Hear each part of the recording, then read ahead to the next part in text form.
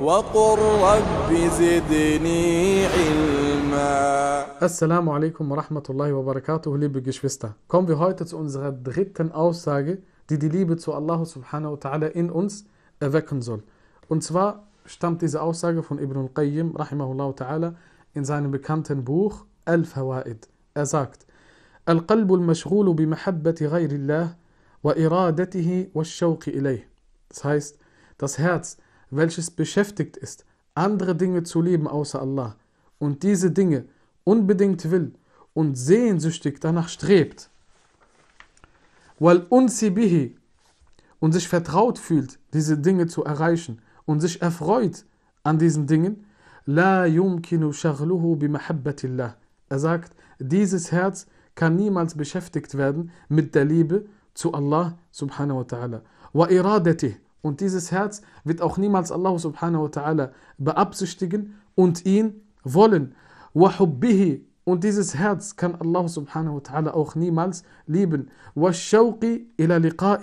dieses Herz wird auch keine Sehnsucht verspüren, Allah subhanahu wa ta'ala zu begegnen. Dann sagt er, ta'alluqihi bighayrih außer wenn was passiert, wenn er sein Herz vorher ausleert von all diesen Dingen, die sein Herz anbestrebt oder liebt oder beabsichtigt.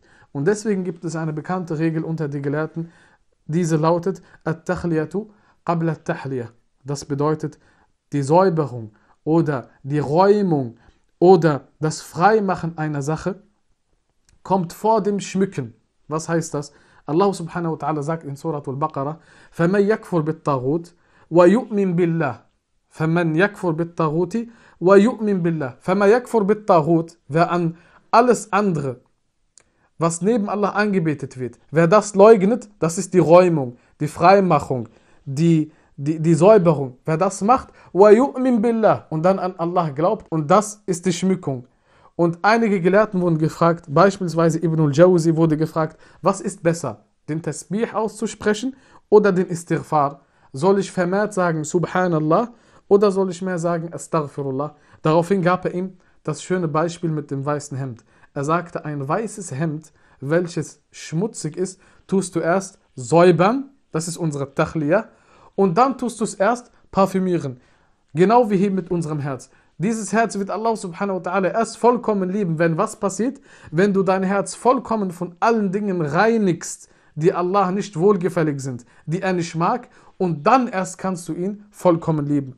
Und das beste Beispiel ist in unserer Shahada im Glaubensbekenntnis. Wir sagen La ilaha, wir leugnen alles, wir, wir tun unser Herz von allem anderen leugnen und dann tun wir es ausschmücken, illallah. La ilaha ist die Reinigung, illallah ist die Schmückung und darauf weist Ibn al-Qayyim hin. Das heißt, das Herz kann Allah subhanahu wa ta'ala nur fest lieben und richtig lieben, wenn wir unser Herz vorher säubern, reinigen und dann erst füllen mit Iman und der Liebe zu ihm und allen Dingen, die Allah subhanahu wa ta'ala wohlgefällig sind. هذا والله أعلم والحمد لله رب العالمين